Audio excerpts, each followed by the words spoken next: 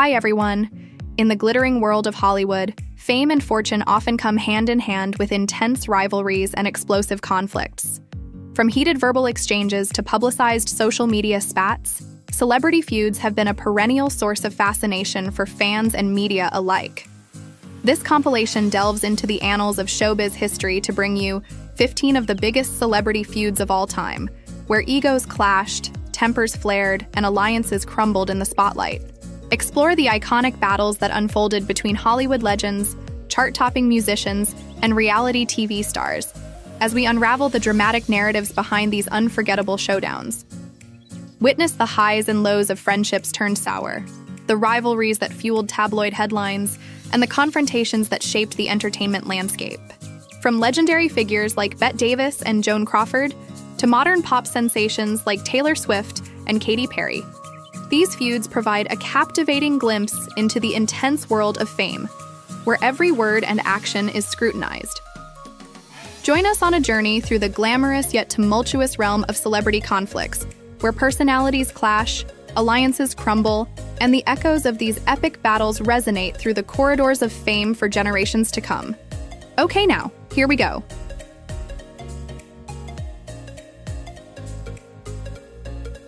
Number 1 Taylor Swift versus Kanye West.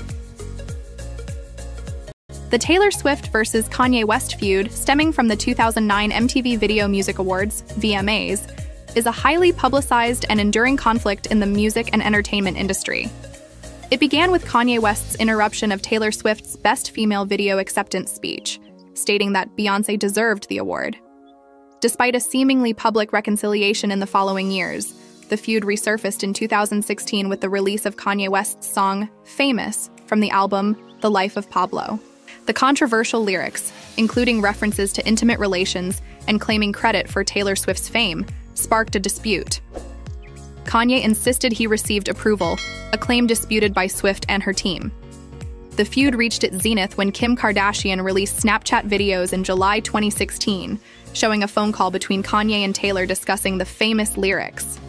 While Taylor appeared to approve in the videos, disputes arose over the conversation's full context and her lack of awareness about certain terms. In response, Taylor Swift took to social media, accusing Kanye West and Kim Kardashian of character assassination. This incident triggered widespread public discussions on topics such as celebrity feuds, privacy, and manipulation in the media. Over the years, the Taylor Swift versus Kanye West feud has remained a focal point of interest, with both artists occasionally addressing the issue in interviews or through their music, solidifying its status as one of the most notable and enduring conflicts in the entertainment world. Number 2. Kim Cattrall versus Sarah Jessica Parker. The feud between Kim Cattrall and Sarah Jessica Parker, stemming from their roles on Sex and the City, became publicized after the cancellation of plans for a third movie in the franchise. Despite the show's successful run from 1998 to 2004, Reports of tension behind the scenes, particularly between Cattrall, Samantha Jones, and Parker, Carrie Bradshaw, emerged. The conflict gained prominence in 2017 when plans for the third movie were halted, with rumors suggesting Cattrall's refusal to participate was a key factor. In a February 2018 interview with Piers Morgan, Kim Cattrall confirmed her decision not to join the third film, describing her relationship with Parker as toxic and asserting they were never friends. Cattrall criticized Parker's behavior and expressed disappointment, stating, This is really where I take to task the people from Sex and the City, and specifically Sarah Jessica Parker, in that I think she could have been nicer. Sarah Jessica Parker responded by expressing sadness, emphasizing her love and respect for Cattrall.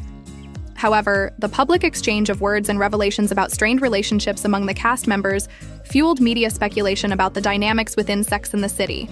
The feud underscores the challenges that can arise in long term collaborations, particularly in high profile projects like television shows and movies, and added another layer to the legacy of Sex and the City. Number 3. Olivia de Havilland versus Joan Fontaine.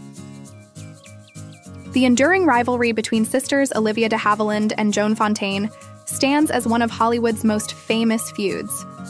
Originating in childhood, their strained relationship persisted into their adult lives, gaining notable attention during the 1940s when both were established actresses in the golden age of Hollywood. A pinnacle moment occurred in 1942 when Fontaine won the Best Actress Oscar, beating out Olivia, sparking increased tension. The sisters' rivalry extended beyond awards and permeated their professional careers and personal lives. Despite both enjoying successful Hollywood careers, public jabs and subtle digs in the media continued to characterize their relationship. In a 1975 interview with People magazine, Olivia de Havilland remarked on their dynamic, playfully stating, I married first, won the Oscar before Joan, and if I die first, she'll undoubtedly be livid because I beat her to it. The feud persisted until Joan Fontaine's death in 2013. Despite the public nature of their disagreements, both sisters were celebrated individually for their contributions to cinema, highlighting a legacy that transcends personal differences. The de Havilland Fontaine rivalry remains a significant and enduring chapter in Hollywood history, showcasing the complexities of familial relationships amid the glitz and glamour of the entertainment industry. Number 4. Sharon Osbourne versus Dannii Minogue. The feud between Sharon Osbourne and Dannii Minogue began on The X Factor, where Osbourne served as a judge from 2004 to 2007, and Minogue joined in 2007, staying until 2010. The tension escalated during the 2007 season, with publicized negative comments and reports of Osbourne feeling overshadowed and displeased with Minogue's alleged flirting with Louis Walsh. In her autobiography, Unbreakable, Osbourne labeled Minogue as insignificant and accused her of having an affair with Simon Cowell, another judge on the show. Minogue and Cowell both denied these claims. The feud continued to unfold in the media, marked by public statements from both parties. Osbourne left The X Factor after the 2007 season, citing various reasons, including her dissatisfaction with Minogue. The feud's impact persisted over the years, being referenced in interviews and media discussions about The X Factor. Despite the passage of time, the strained relationship between Osbourne and Minogue during their time as judges remains a noteworthy and memorable chapter in the show's history. Number 5. Pink versus Christina Aguilera. In the early 2000s, a notable feud emerged between Pink, Alicia Moore, and Christina Aguilera, two pop stars often compared due to their similar career trajectories.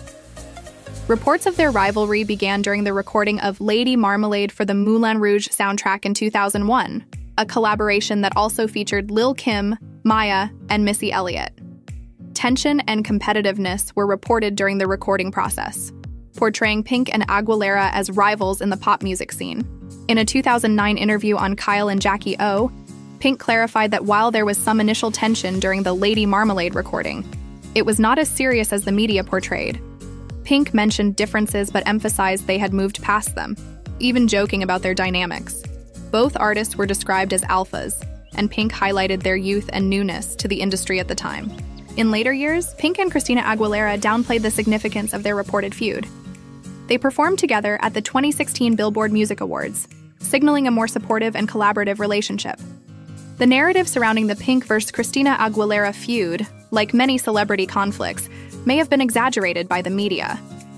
The artists involved have since expressed mutual respect acknowledging positive growth in their respective careers as they matured. Number 6. Cardi B versus Nicki Minaj. The Cardi B, Belcalis Almanzar, and Nicki Minaj, Onika Tanya Maraj feud is a prominent conflict in hip hop and rap, characterized by public incidents and social media exchanges. The most infamous event occurred at a New York Fashion Week party in September 2018 where a physical altercation reportedly took place, leading to Cardi B throwing a shoe at Nicki Minaj. The feud was fueled by speculation about the reasons behind the altercation, including rumored comments about Cardi B's parenting skills. Following the Fashion Week incident, both Cardi B and Nicki Minaj addressed the situation on social media, exchanging jabs and accusations that escalated the public feud. Diss tracks, such as Cardi B's Press and Nicki Minaj's Megatron, further contributed to the intensification of the conflict. The feud extended to interviews and media appearances, where both artists discussed their issues, adding to the ongoing narrative. Despite the public nature of their feud, Cardi B and Nicki Minaj expressed a desire to move past the conflict in interviews. While acknowledging the competitive nature of the music industry, they indicated a willingness to focus on their respective careers. The Met Gala in 2019, where both were in attendance without a physical altercation, added to speculation about their relationship. Number 7. Miley Cyrus versus Nicki Minaj. The feud between Miley Cyrus and Nicki Minaj unfolded in 2015, triggered by events surrounding the MTV Video Music Awards, VMAs. The controversy originated from Nicki Minaj's disappointment over not receiving a Video of the Year nomination for Anaconda. In a series of tweets, Minaj expressed her frustration, suggesting that her video celebrating curvy bodies wasn't receiving the same recognition as videos featuring slimmer women. Miley Cyrus, hosting the VMAs that year, responded to Minaj's comments in an interview with the New York Times.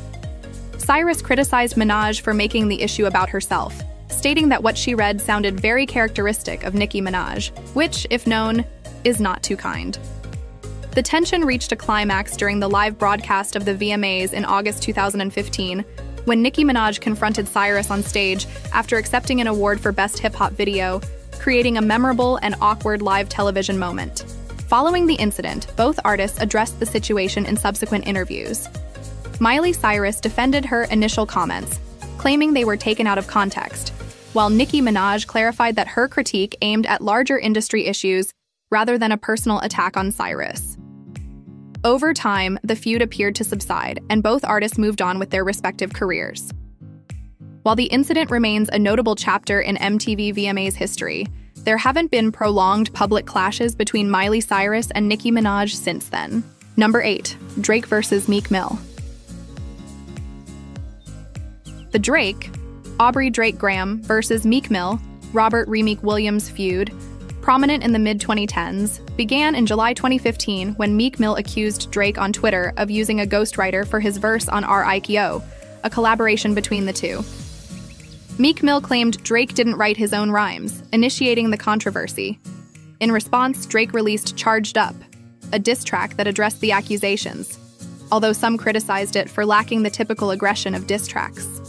Meek Mill replied with Wanna Know, featuring Quentin Miller, the alleged ghostwriter but the track received mixed reviews, with criticism for its perceived weakness. Drake then escalated the feud with Back to Back, a highly acclaimed diss track that not only addressed Meek Mill's accusations, but also mocked his career. The track garnered widespread praise, intensifying the public's perception of the feud, and social media played a significant role with fans, artists, and brands getting involved.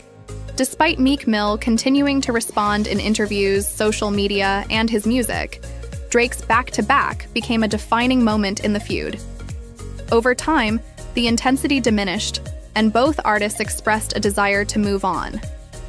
In 2018, they officially ended the beef by performing together on stage during Drake's Aubrey and the Three Migos tour.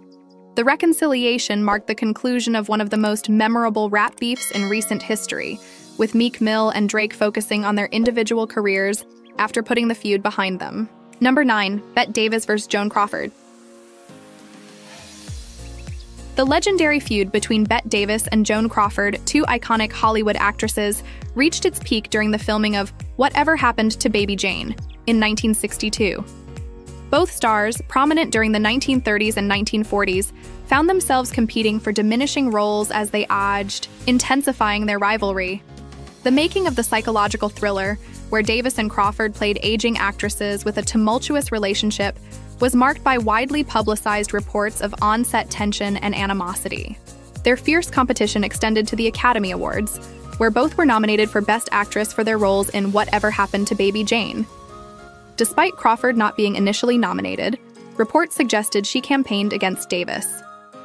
Anne Bancroft won the award that year for The Miracle Worker, further fueling their public rivalry. The feud continued beyond the film's release, with both actresses making public comments about each other's careers, personal lives, and appearances. Despite their mutual dislike, Davis and Crawford were cast together in Hush, Hush, Sweet Charlotte in 1964, though Crawford was eventually replaced. The strained relationship persisted, and insights into their perspectives were provided in Davis's autobiography, The Lonely Life, 1962 and Crawford's memoir, My Way of Life, 1971. Their feud has become a significant part of Hollywood lore, immortalized in various media, including the FX television series Feud, Bette and Joan, 2017. The rivalry remains a symbol of the competitive and challenging nature of the entertainment industry. Number 10, Isaiah Washington versus the Grey's Anatomy cast. The controversy involving Isaiah Washington and the cast of Grey's Anatomy unfolded during the mid 2000s, particularly in the third season of the popular medical drama series. Washington, portraying Dr. Preston Burke, became embroiled in a highly publicized incident with co stars T.R. Knight, Dr. George O'Malley, and Patrick Dempsey, Dr. Derek Shepherd. In October 2006, during an argument with Dempsey, Washington reportedly used a homophobic slur directed at Knight, amid rumors about Knight's sexual orientation. The incident sparked public outrage and discussions about workplace behavior and homophobia. The fallout from the controversy led to Isaiah Washington issuing a public apology and engaging in counseling and awareness raising efforts. However, tensions persisted among the cast, and the incident took a toll on relationships on set. Eventually, in June 2007, after the conclusion of the third season, it was announced that Washington would not be returning to Grey's Anatomy, the departure was framed as a mutual agreement between Washington and the show's producers, marking a significant moment in the series' history and influencing perceptions of both Washington and the show. In the years following his exit, Washington has publicly expressed regret for his actions and emphasized the importance of learning from mistakes. The controversy continues to be a notable chapter in the history of Grey's Anatomy, highlighting broader issues related to workplace behavior and inclusivity in the entertainment industry. 11. Charlie Sheen versus Chuck Lorre. The feud between Charlie Sheen and Chuck Lorre, the creator and executive producer of Two and a Half Men, became widely known in 2011. Charlie Sheen, who played the lead role of Charlie Harper, faced public scrutiny due to his personal troubles, including substance abuse and legal issues. His erratic behavior and controversial statements, such as the catchphrases winning and tiger blood, led to CBS and Warner Brothers terminating his contract with the show. Sheen directed derogatory remarks at Chuck Lorre, questioning his professional competence and personal life. Charlie Sheen's public statements against Chuck Lorre, filled with personal attacks and accusations, prompted CBS and Warner Brothers to cease production of Two and a Half Men for the remainder of the season. On March 7, 2011, Sheen was officially fired from the show, and the ensuing media coverage focused on his unconventional behavior and catchphrases. Following his departure, Sheen embarked on a live tour. Violent Torpedo of Truth defeat is not an option, which garnered mixed reviews but kept him in the public eye. In the years that followed, Charlie Sheen expressed some regret for his actions and spoke about seeking treatment and focusing on his health. Chuck Lorre continued his successful career as a television producer. While the feud marked a tumultuous chapter in both Sheen's and Lorre's careers, with intense drama surrounding Sheen's departure from Two and a Half Men, both parties have since moved on to other projects. 12. Katy Perry versus Taylor Swift. The feud between Katy Perry and Taylor Swift, one of the most notable conflicts in the music industry, began in 2013 over backup dancers. Reports suggested that Katy Perry hired some of Taylor Swift's dancers for her tour, leading to tension between the pop stars. In 2014, Taylor Swift released the single Bad Blood from her album 1989, widely believed to be about her strained relationship with Perry. The music video featuring a star studded cast intensified speculation about the feud. The Super Bowl XLI's halftime performance in 2015 added another layer to the feud when a dancing shark, Left Shark, became a viral sensation. Taylor Swift seemingly referenced it on Twitter, fueling more speculation. Both artists addressed the feud in interviews, with Katy Perry expressing a desire to end the conflict on Carpool Karaoke in 2017, and Taylor Swift suggesting the disagreement was rooted in professional issues. In 2017, Katy Perry released Swish Swish, interpreted as a response to Swift's Bad Blood, marking a continuation of the public clash. However, the turning point came in 2018 when Perry sent Swift an olive branch as a symbolic gesture of peace. They shared the reconciliation on social media, officially ending their public feud. This reconciliation was further solidified in 2019 when Perry appeared in Swift's You Need to Calm Down music video, advocating support for the LGBTQ community. Since then, both artists have publicly supported each other, and the feud is considered a thing of the past, met with positivity from fans and the media. 13. Britney Spears vs. Christina Aguilera. The rivalry between Britney Spears and Christina Aguilera originated in the late 1990s as both pop stars rose to fame simultaneously, initially as Mouseketeers on the Mickey Mouse Club. This shared background fueled comparisons between them as they transitioned into pop sensations. In 1998, Britney Spears' debut single, Baby One More Time, and Christina Aguilera's Genie in a Bottle were released around the same time, intensifying media framing of the two as competitors in the pop music scene. Media outlets consistently compared Britney and Christina, emphasizing differences in their images, styles, and personalities, contributing to the perceived rivalry. The MTV Video Music Awards in 2003 added a provocative twist when Britney Spears and Christina Aguilera shared a kiss with Madonna during their performance, further fueling the narrative of competition. Over the years, as their careers took different paths with Britney leaning towards pop and dance, while Christina explored various genres, their evolving styles contributed to the distinct artistic paths narrative. Both artists addressed the rivalry in interviews, sometimes downplaying the notion of competition and highlighting mutual respect. However, media coverage often sensationalized perceived tensions. As they matured and faced personal and professional challenges, the narrative of their rivalry gradually faded. Recent years have seen Britney Spears' legal struggles and Christina Aguilera's focus on music and coaching on The Voice, shifting public attention away from any perceived feud. While moments of competition occurred, Britney Spears and Christina Aguilera have expressed mutual respect, and the rivalry, largely fueled by media and fan speculation, is considered a product of the late 1990s and early 2000s pop culture landscape. 14. Jay Z vs. Nas.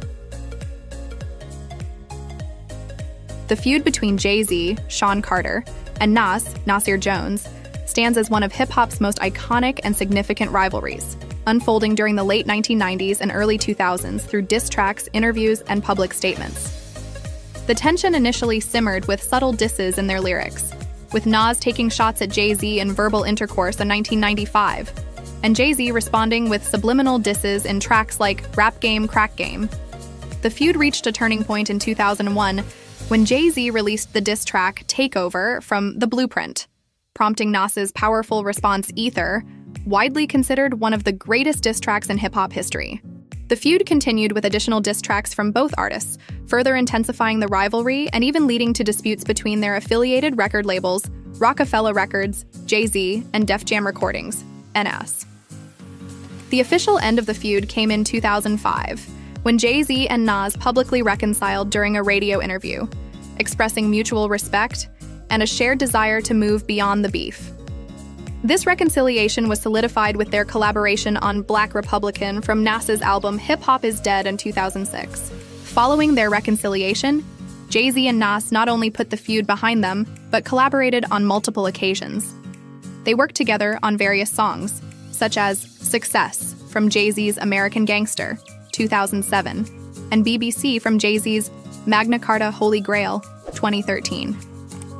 The feud, particularly the Takeover versus Ether exchange, remains legendary in hip hop history, and their eventual unity serves as a symbol of maturity and solidarity within the hip hop community.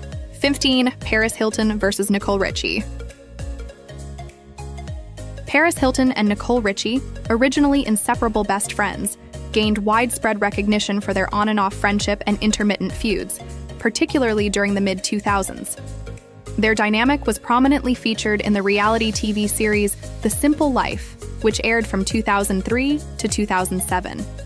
The show's success was attributed in part to the chemistry and contrasting personalities of Hilton and Richie, as they navigated various ordinary jobs and lifestyles. During the filming of the third season of The Simple Life in 2005, reports surfaced about tension and a falling out between Paris Hilton and Nicole Richie. The exact reasons for the fallout were not explicitly detailed, leading to widespread speculation ranging from personal differences to professional conflicts.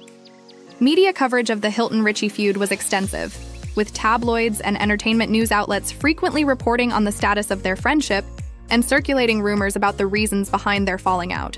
In the fourth season of The Simple Life, Paris Hilton and Nicole Richie went their separate ways, each paired with new friends on the show. Paris was partnered with Kimberly Stewart, while Nicole was accompanied by her then fiance, Adam Goldstein, DJ Am. The new pairs introduced a different dynamic from the original Hilton Richie duo. However, in 2006, Hilton and Richie reportedly reconciled and mended their friendship. making joint appearances and expressing their desire to move past previous conflicts. The fifth and final season of The Simple Life marked their return as a duo, providing closure to the series with the original dynamic.